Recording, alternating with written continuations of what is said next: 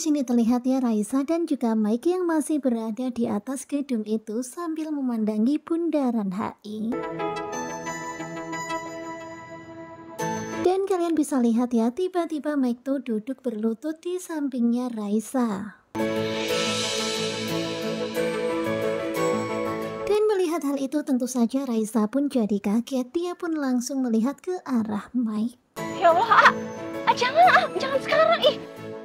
Dan kalian bisa melihat ya, Raisa tuh kaget banget ketika Mike melakukan hal seperti itu. Pokoknya romantis banget ya, dikiranya tuh mau ngapa-ngapain. Si A, bangun! Padahal di sini Raisa tuh udah GR ya. Ternyata oh ternyata Mike tuh cuman mau benerin tali ikat sepatunya yang lepas.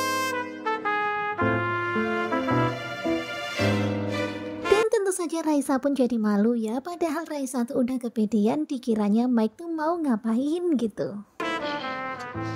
Sabar aku, Nek. Dan lucu banget ya ketika Mike membisikkan ke telinga Raisa, sabar ya. lucu banget. Ya, kayak gitu. Ya tentu saja Raisanya pun jadi malu banget ya. Dikirain tadi mau ngapain gitu, ternyata tali sepatunya lepas. Uh.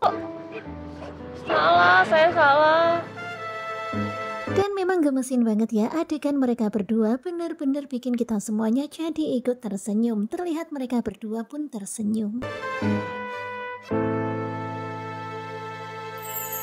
Kemudian Mike pun memberikan tangannya kepada Raisa dan maksudnya tuh mau memegang tangan Raisa. Dan ternyata oh ternyata itu mendapat sambutan baik dari Raisa. Dan pastinya Raisa tuh deg-degan banget ya ketika Mike memberikan tangannya seperti itu minta dipegang tangannya, minta digandeng gitu. Dan akhirnya Mike pun tersenyum kemudian perlahan-lahan Raisa pun memberanikan diri untuk memegang tangan Mike. Dan hingga pada akhirnya mereka pun bergandeng tangan. Dan kalian bisa lihatnya bagaimana mata mereka saling memandang. Kemudian perlahan-lahan di sini Raisa pun menurunkan tangannya memegang tangan Mike. Ya pokoknya serba serseran gitu ya. Namanya lagi bucin, namanya lagi jatuh cinta ya seperti itu. Ya pastinya ketika tangan mereka bersentuhan, pastinya dak dik duk der nggak karuan.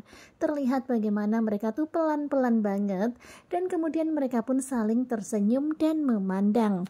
Ya pastinya kalian yang di rumah ikut happy kan dan pastinya juga ikut seneng melihat keromantisan mereka berdua yang baru aja jadian. Nah tentu saja Bundaran HI menjadi saksi cinta mereka berdua menjadi saksi Raisa dan Meg bersatu. Nah, tentunya pasti makin penasaran kan? Di sini terlihat mereka pun tersenyum dan bahagia. Mereka masih belum tahu ya apa yang akan mereka hadapi selanjutnya setelah ini. Nah, tentunya pasti makin penasaran kan dengan kelanjutan My Heart pada hari ini hari Jumat tanggal 26 Juli 2024. Nah, kira-kira bagaimanakah kelanjutannya? Pokoknya kalian harus stay tune terus ya nonton di SCTV. Simak kelanjutan My Heart hanya di SCTV dan jangan lupa terus dukung Shiva Family. Terima kasih ya buat buat kalian yang sudah selalu setia dan jangan lupa nantikan video selanjutnya. Terima kasih dan bye-bye.